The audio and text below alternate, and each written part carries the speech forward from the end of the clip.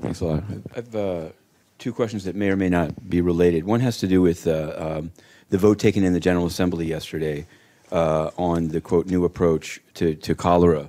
And, and I just want to understand your understanding of it. I've seen a story whose headline is UN approves use of unspent funds on Haiti's cholera uh, epidemic and says that the General Assembly voted to transfer unused funds. But it seems like the resolution, all it says is that they welcome the intention of the Secretary General to inform states Right. of their ability. So what, what's the status on actually getting any funds? And is it, is it, is it, is it true that this is transferring funds, or is this just welcoming his intention to inform states that they could transfer funds?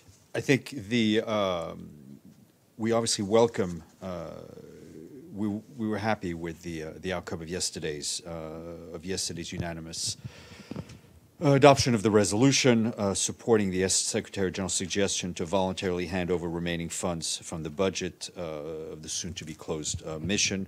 Contributors to the peacekeeping budget will notify us within 60 days of whether they're willing to shift their share to the unspent money of the cholera fund. We hope that this will create a momentum to support the new approach focused on eliminating cholera from Haiti and increasing support for the most affected uh, communities. As, as of now, the total contribution of funds is about $2.67 million. Obviously, uh, we hope that um, uh, we hope this is uh, we hope this this is increased. Is there any threshold at which uh, the, the, the track 2B that was uh, enunciated by Ban Ki-moon would in fact be implemented? That's, that's individual reparations for families who lost their breadwinner, housing, schooling. Is there some, is there any intention to do that, and is there some level at which that would be done? Uh, I think we, we're taking one one step at a time. The other, the the possibly related questions, I saw in the, the um, uh, schedule of the Deputy Secretary General at 5 o'clock today, she's meeting with this- this Amitabh Desai of the Clinton Foundation. I wanted to know if you could either know now or tell me after, what's the, what's the topic? Is Haiti a topic? Is there another topic? I don't know. I, I don't know. I'll try to figure out. Uh, I will try to let you know. Excuse Okay. me. I'm just uh, trying to work something out here. Just bear with me two seconds.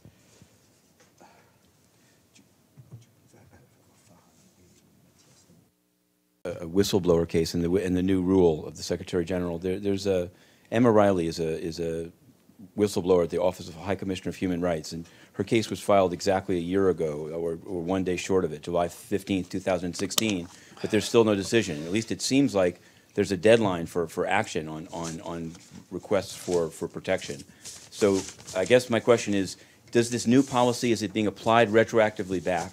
What's the status uh, of, of, of, of whistleblowers that pre-existed the, the coming into the policy? And how can you explain someone who alleged that, that her superior, you know, took benefits from Morocco, I, I, I don't. I, names over I, I don't. I don't. Uh, I don't know the particulars of her of her case, uh, and I will check on your question about the about the policy. Okay, thanks a lot. And the- the- I I'm not asking you to hold, to, to, to hold my hand, as you'd said yesterday, but I do want to ask you again about Mr. Salamé, because from yesterday, you said that he's going to be, he's going to come by the end of the month, and then he's Right. going to begin shortly thereafter, but he's already making calls, and he's already described as the envoy. So Well, how are because, uh, people who deal with the UN supposed to know? Is he getting paid? Does he have immunity? These are the. Uh, I, I don't. I think he officially starts uh, early August.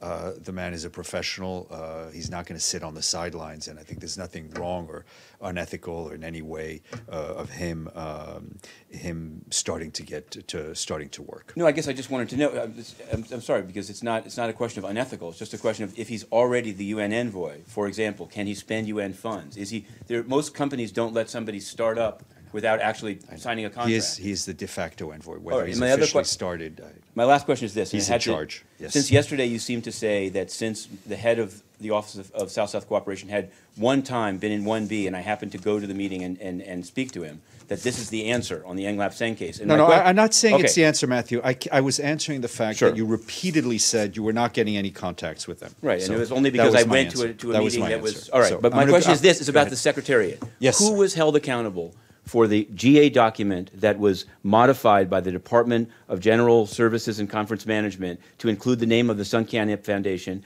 and within DPI for the events held in the lobby I and, think with, the with it, for, sponsorship for, of the for, Slavery for Memorial? DPI, I think the the audit was clear, is that there was an, it was an issue of, uh, of judgment. I don't think there was any malfeasance in, in any way. Uh, On the document, I don't know. Can you find out? I will get Our cases ongoing.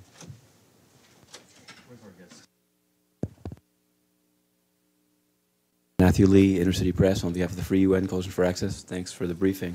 I wanted to, you were saying, eh, eh, you'd mentioned Myanmar, and so I just, it seems sometimes in this debate that the issue of like, there seems to be at least two countries in which, in which Buddhist clergy, at least, not all, but some, are involved in, in, in targeting non-Buddhists. That would be Sri Lanka as well as, as Myanmar. And I just wanted to know what's been your engagement on that, on sort of the different strands of, of, of Buddhism.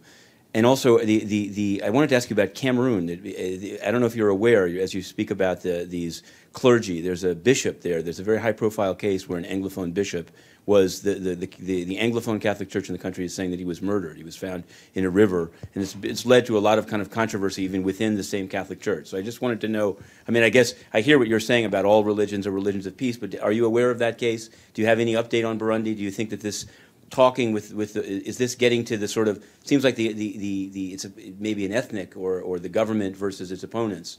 But what's the what's what's the possibility of this religious dialogue helping things in Burundi? Thanks a lot. Well on the first point regarding Myanmar let me tell you that when we had the meeting for Asia Pacific we had uh, Myanmar uh, religious leaders Buddhists. We had also Muslim uh, who took part in the discussion we have, of course, to realize that Myanmar is still very difficult situation.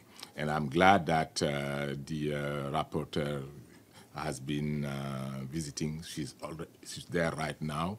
And let's encourage really the ongoing process. Uh, we have to make sure that also the atrocities that have been committed there are simply, of course, unacceptable. But let's see what will be the findings of the uh, commission, which has been, uh, which is going to be dispatched to Myanmar. Uh, and now on the uh, point concerning, of course, uh, Burundi, there is no doubt that the situation is not an easy one. And we have to make every effort uh, sometimes uh, we tend to think that uh, simply by issuing condemnation you can solve the problem.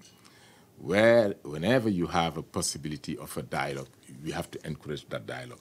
And uh, my view is that the regional actors also have to be involved in a more, maybe in a more aggressive way so as to find a solution. Because if solution is not found in those areas where you have a crisis, it will definitely impact on the neighboring countries sooner or later, like, like we are seeing. I mean, you have today near 400,000 uh, Burundis who are refugees in the neighboring country.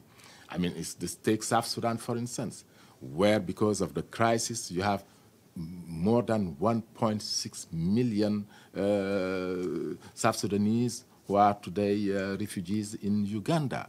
I mean, take the failure of the international community in Syria, which led finally millions of people moving uh, in the tiny kingdom of uh, Jordan and even crossing the border went to Europe. And that is why I said we need to be to show more solidarity. And at the end of the day, we need to simply have a world where you will have more justice, more social justice, where the inequalities will be reduced. And in that regard, I think the Sustainable Development Goal, the Sustaining Peace Resolution are elements which we need really to make every effort uh, to support their implementation.